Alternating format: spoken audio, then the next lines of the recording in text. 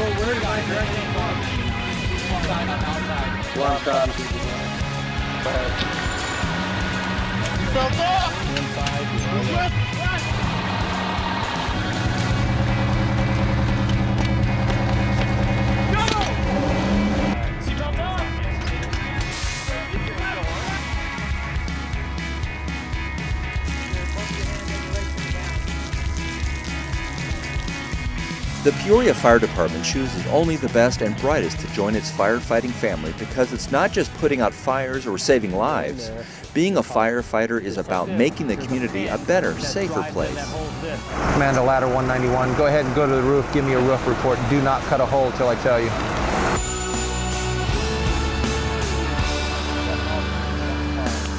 Recently, they trained five courageous, hardworking, and committed recruits at the Glendale Regional Public Safety Training Center.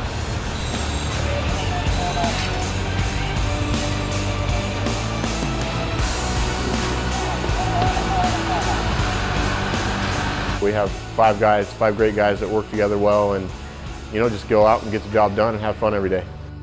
Go in, find the seat of the fire, get it all clear. You're gonna find it in the garage.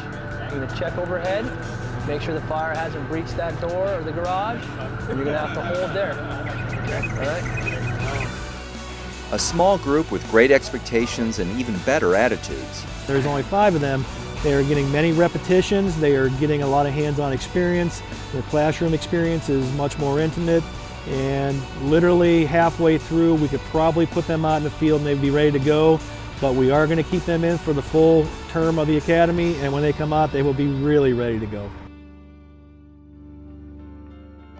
I've always tried to be the best at whatever I'm doing, and here it's not even, it doesn't even matter because there's certain things I'm good at and certain things there's, the other guys are way better at than I am. It's like there's no way any one of us could be on top all the time because they all, we all bring something different to the table. We have a chance to meet people who are already in the field, um, so it's, it's given us a, a chance to meet um, some the people that we're going to be working with here in a few months.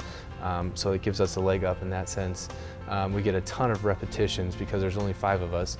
It's a Peoria Academy with a Peoria RTO, and we have Peoria trucks coming down every day to help, help us get things right.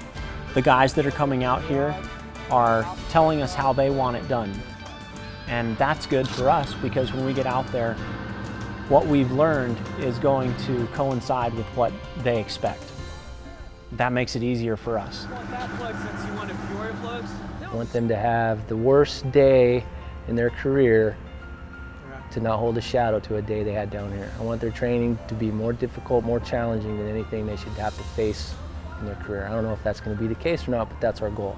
We're pushing them as hard as we possibly can, putting them in unmanageable situations, and hopefully they'll go through their career and look back and go, I never had a day like I had in the academy.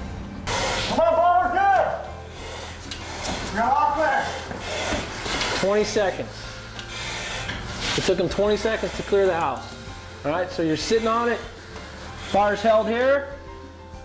Kind of sucks for you, but this is your spot. You're gonna stay right here. We're gonna make sure this fire doesn't get past it. And that's why every day we come in, we push ourselves and we have to remind ourselves that we're getting paid to be here because it's so fun and we're having so much fun. It's like, oh yeah, I'm gonna get a paycheck for this. It's fair to say that this is what I'm gonna do the rest of my life. There's not a doubt in my mind. Throughout the grueling mental and physical training, these recruits learn that firefighting takes passion and teamwork, and that hard work is rewarding. RC Mattock. Bo Taylor. Darren Fox. Uh, my name is Donald Porter. My name is Jeremy Gibbons, and I'm a firefighter recruit with Peoria.